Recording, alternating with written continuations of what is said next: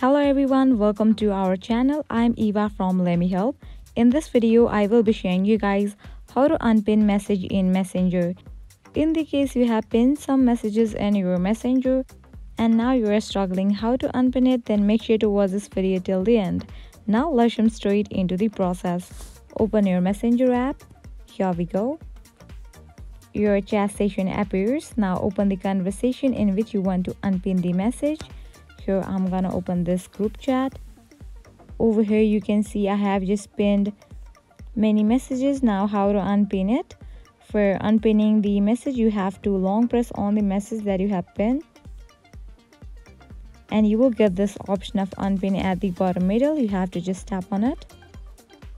And here you can see that I have just unpinned this message. Likewise I'm gonna unpin this one message as well same process for this as well. Long press on it.